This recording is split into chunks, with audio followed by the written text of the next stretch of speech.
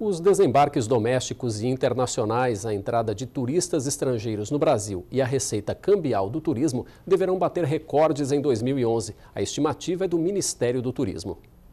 Os números da Diretoria de Estudos e Pesquisas do Ministério apontam para o melhor resultado desde 2003. São esperados 79 milhões de desembarques de voos nacionais, acima dos 68 milhões de 2010. Os desembarques internacionais devem somar 9 milhões, contra 7,9 milhões do ano passado. O número de visitantes de outros países está estimado em 5,4 milhões até dezembro de 2011, acima dos 5,1 milhões registrados em 2010 e dos 5,3 milhões de 2005, até então o recorde histórico.